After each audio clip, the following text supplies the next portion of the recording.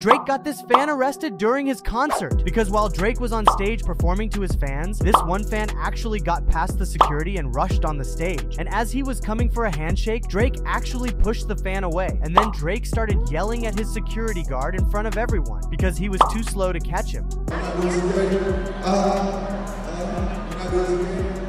But the security guard then dragged the fan from stage, and later the fan actually got arrested for what he was trying to do. And if you would like to see Drake, subscribe.